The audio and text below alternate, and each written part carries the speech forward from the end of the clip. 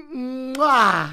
XQC's community never fails to make new people feel welcomed. While live, Will Neff decided to show his chat what it's like to type a simple greeting in XQC's chat, and it didn't disappoint. Hi. What's up, guys?